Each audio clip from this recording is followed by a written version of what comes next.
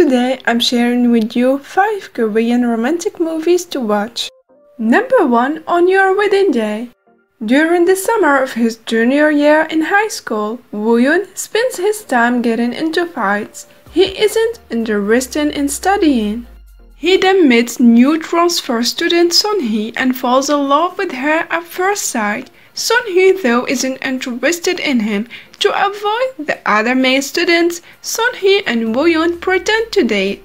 She also asks him to stop fighting. He keeps his promise and their relationship develops into a real romantic relationship.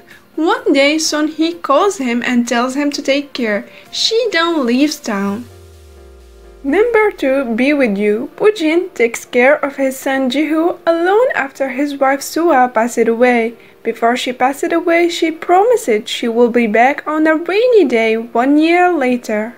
And one year later, Sua appears again, but she does not remember anything. Number 3 The Dude in Me Hyun is a high school student. One day he falls from the rooftop and bumps into Pang-soo who's a passerby. And Pang-soo is a member of a criminal organization. When the two men wake up in the hospital, they discover that they have switched bodies.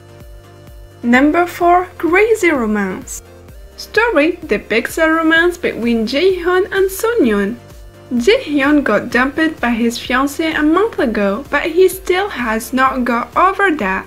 And meanwhile, Sun-yoon broke up with her boyfriend who cheated on her. The two began to work together.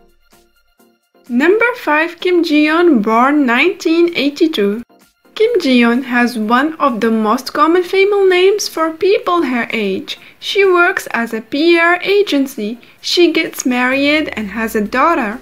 So she can raise her daughter. She quits her job. She leads a simple life up to this point.